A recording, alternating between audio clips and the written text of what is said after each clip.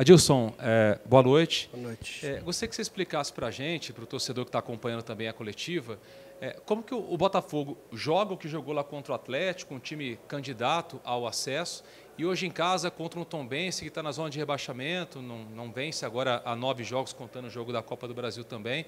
Começou bem ali até aquele chute do Robinho no canto, o goleiro fez a defesa, mas depois time parece que foi se perdendo, não conseguiu atacar muito na segunda etapa, principalmente também. Como explicar dois jogos tão diferentes assim, em tão é, pouco espaço de tempo? Boa noite a todos. A nossa intenção, aquilo que foi trabalhado, a proposta de você ser mais agressivo, até em função da situação do adversário. Nós sabíamos que, que viria um pouquinho mais, mais postado, mais fechado. Nós tivemos os primeiros 15, 20 minutos, tivemos situações para para servir um companheiro, para rolar essa bola para trás, para caprichar no passe, na, na infiltração, na penetração no trabalho de pivô e, e acelerar esse passe. E infelizmente nós erramos. E aí você tenta dar uma chacoalhada no intervalo para que, que reagissem, tivesse um comportamento, continuasse tendo um comportamento agressivo, é, com marcação mais alta, com, com saída mais rápidas. E infelizmente não, não foi possível. Aí fizemos algumas trocas para ver se, se reagimos. Se, se a gente, o, o, intuito é sempre melhorar. Eu tentei vencer o jogo, né? É só você olhar e observar é, o pessoal que entrou. Mas infelizmente às vezes você encontra um adversário um pouquinho mais fechado, que era uma bola esticada, uma bola longa. Depois teve as situações de contra-ataque com os dois velocistas que acabaram entrando. E, e ficou um jogo difícil, né? Mas tentamos. Ó, boa noite. Boa noite. Nós acompanhamos nos últimos dias algumas análises assim no sentido de que é, se o Botafogo vencesse esses dois jogos em casa, né, contra Tom Benz e Ituano, se credenciaria definitivamente para se colocar como um dos candidatos ao acesso, grupo dos quatro primeiros colocados. A primeira vitória não veio ainda, é, não aconteceu e não virá, pelo menos a primeira vitória. É, isso indica alguma coisa, falando em acesso, em uma condição melhor na, na tabela? É, é muito prematuro esse tipo de, é, de, avaliação? Eu, eu acho que é cedo. A, a intenção é sempre vencer, mas nós já buscamos dois resultados fora, né? E infelizmente perdemos por vitória aqui, fazendo um bom jogo, um bom primeiro tempo. E em ter, três erros e acabamos é, perdendo o jogo. Tivemos um jogo difícil com o Mirassol, mas conseguimos no finalzinho. Então é a Série B, as dificuldades, né? A gente criou dificuldade no esporte lá no primeiro tempo, que foi no Morumbi, ontem venceu, né? É, criamos dificuldades para o Atlético Goianiense, estamos vencendo, cedemos o empate no finalzinho. São jogos muito, muito, muito parecidos. Então, é, às vezes é desatenção, às vezes uma falha, um erro, um posicionamento. O intuito é hoje era ser mais agressivo. Né? Infelizmente não, não foi possível e nós não não demos a, a, velocidade, não servimos no momento certo, não, não pifamos o jogador correto, então não entrou a bola.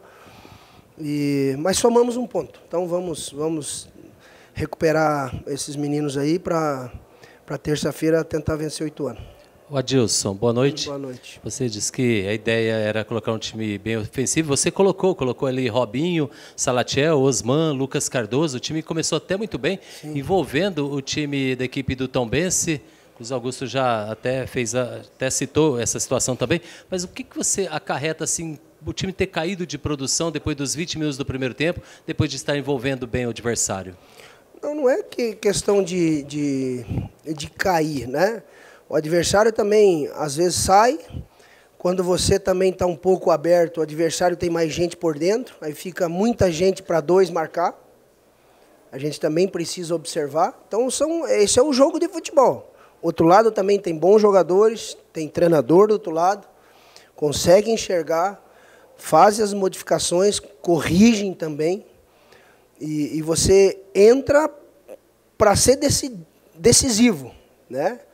Então, é, aí o adversário ganhou um pouquinho mais o setor do meio e nós tivemos um pouquinho de dificuldade. Então, é, você pede, a gente tentou fazer as trocas para que para que a gente fosse incisivo, fosse agressivo, adiantasse, tivesse o controle, poste foi igual, finalização primeiro tempo nossa foi, foi maior, as situações da Tombense era mais de contra-ataque, um esticão, algumas desatenções, alguns escorregões, né? Então são detalhezinhos do futebol que às vezes acaba prejudicando o coletivo. Boa noite, Adilson. Boa noite. Já pensando no próximo jogo, o Botafogo irá enfrentar um adversário que vai, irá vir de uma viagem longa e está jogando no mesmo dia que o Botafogo, que é o Ituano. Como tirar proveito do cansaço da equipe de Itu? A, a Tombense, cara, eu até. É que eles não têm o, o aeroporto em Muriaé, né? Às vezes a gente fica um pouquinho chateado com, com a Palas ou com a própria CBF. E eles viajam inúmeras vezes, vezes 12 horas, 10 horas, ficam no aeroporto. Então está sendo desgastante para todo mundo. Então eu não vou nem, nem achar que eu vou tirar proveito disso, porque está muito igual. Está muito igual. Adilson, como que foi a tomada de decisão de colocar o Gustavo Xuxa naquele momento do jogo? Olha, eu achei que ele poderia fazer uma função no meio, ficaria ali com, é, com, com o Osman e o Salatiel, o Robinho acompanhando dele. E aí eu seguraria um pouquinho mais o Madruga com o Tarit. Para mim ter na falta, ter o, o lançamento, a virada, a inversão, o chute. E essa foi a intenção, né? Para ter mais um cara no meio e ajudar os dois, essa foi a minha intenção. Adilson, boa noite. Você entrou exatamente com o mesmo time que jogou contra o Atlético, mas teve um rendimento super diferente. Sim. Você acha que até as mudanças que você fez no segundo tempo tiveram o um efeito esperado? Qual era a sua ideia principal com aquelas mudanças? Olha, você tem que vivenciar o jogo. Eu, eu tive o, o, o, Vidal que teve febre aí dois dias. Aí eu coloquei o Tassi, que o Tassi é um jogador mais ofensivo. E daí a gente manteve o mesmo padrão. Então o, o intuito era fazer um grande primeiro tempo, tentar vencer o jogo não foi possível. É, como frisei, tivemos oportunidades para criar e, e, e, definir, mas tivemos a escolha, ela não foi correta. E o segundo tempo você tenta mexer. Eu coloquei o Thomas, coloquei o Edson, coloquei o Veras, gás novo, né, gente nova. O Vidal abaixou um pouquinho para manter a linha de quatro.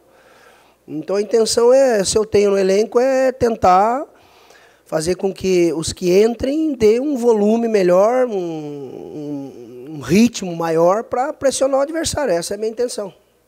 Adilson, acho que é importante ouvir de você sobre um jogador que vinha sendo titular desde o ano passado e alguns jogos ele está no banco, que é o Jean Vitor. É um jogador que dá uma ajuda muito grande com bola parada, com apoio ao ataque também. Ele está no banco hoje porque você enxergou alguma deficiência técnica nele ou algo a mais no Patrick Bray para ele ser o novo dono da camisa 6, para você explicar o porquê do Jean no banco e o que, que o Patrick vem ganhando essa sequência. Olha, para mim todos são importantes. O Jean tem a, as suas qualidades, é um jogador, como você frisou bem, é o, acho que o melhor batedor de falta nosso. E o Patrick também é um, é um atleta experiente que entrou e entrou bem. Então a, a competição ela é saudável, importante, e eu conto com os dois. Então posso dobrar os dois, não vejo problema nenhum, como já fiz é, com o Vidal e o próprio Tássio. Então é, eu conto com ele, hoje iria até entrar, né? E aí eu resolvi colocar o Edson como extremo, no lugar do Robinho. Mas é um jogador que eu gosto, confio, que vai nos ajudar e será muito importante durante a competição. Adilson, é, só para é, falar um pouquinho mais sobre, sobre projeção, né? Você viveu uma, uma situação no Londrina no ano passado, uma boa campanha, né? o Londrina ficou ali próximo do G4 em diversos momentos é, não subiu por nove pontos, né? essa foi a diferença para o quarto colocado. Fazendo o um paralelo da Série B do ano passado para esse ano, qual o tamanho do desafio do Botafogo para conseguir se firmar ali no pelotão de frente? O desafio é ir vencendo os jogos, né? mas vencendo e convencendo e, e tendo ganhando corpo, né? Eu acho que nós fizemos bons jogos, tivemos dificuldades em alguns, caímos em, em outros, né? mas erramos demais. Então, é importante você vencer fora, é importante você vencer em casa, é importante você pontuar. Campeonato tão, tão igual, né? Então, tão disputado, está todo mundo, a Tombense tentando sair naquela da situação incômoda dela. Então, está muito igual e é muito cedo ainda. Então, vamos, vamos vencer jogo a jogo, pensar em tentar vencer o Ituano na terça-feira, esse é o meu objetivo. Adilson, em relação a essa situação de quase subir o Londrina no ano passado, o Botafogo está com uma boa pontuação, são 17 pontos até o momento. Você vê com esse atual elenco do Botafogo, hoje a gente percebe ali, apesar de você ter entrado quatro atacantes, talvez faltou um homem de armação. Você tentou com o Xuxa, também não deu muito resultado na segunda etapa. Para subir o time para a primeira divisão do Campeonato Brasileiro, é, Botafogo precisa um pouco mais de reforço? Ah, isso aí é com Pelai e Adalberto. Eu trabalho, treino, faço o meu melhor, a gente conversa no dia a dia, eu estou dando o meu melhor, fazendo o melhor, aquilo que eu entenda que seja o melhor no momento a gente vai colocar para fazer um time competitivo. A competição exige isso, então para a gente ir pontuando. Adilson, na sua última coletiva, na sua penúltima coletiva contra o Mirassol, você comentou de recuperar o Carlinhos. Sim. E é um jogador que vem sendo muito criticado pela torcida e vem se sentindo muito inseguro. Como você tem trabalhado, agora voltando ele de titular de novo? Ah, conversando, mostrando, explicando, corrigindo no treinamento. Mais uma correção para amanhã. A bola era do Diogo, não tinha necessidade de fazer a falta. Né? Então são, são coisas que você vai mostrando. Né? Aí tem uma invertida, tem uma longa, cuidado uma bola por dentro. Isso é com treinamento. Né? As coisas não acontecem da noite para o dia. É como eu às vezes falo, é importante ter uma base boa. Para não chegar no profissional, você tem que fazer o trabalho de base. Então, algumas escolas saem na frente com determinados jogadores.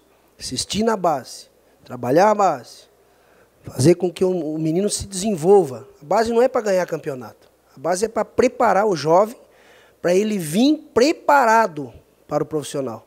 Daí tem o enfrentamento, aí vai ter os jogos, aí vai crescendo, aí vai tendo os contatos. E ele vai, vai surgindo um jogo que é mais, é, que é diferente dos juniores.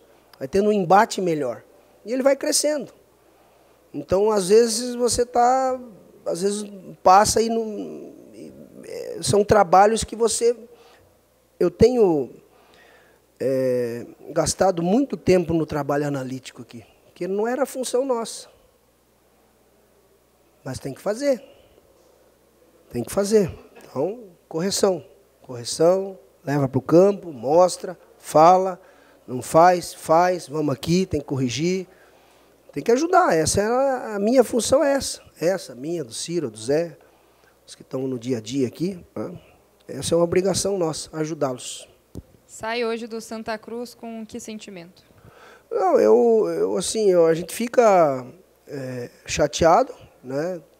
Gostaríamos de ter vencido e convencido. A gente sempre trabalha para vencer e convencer. Mas é, rever algumas coisas, né? Conversar, mostrar, explicar, para que a gente não cometa determinados tipos de erro que, que nos custem aí uma, um jogo que poderia ter, principalmente pelos 20 minutos, uma, um resultado melhor.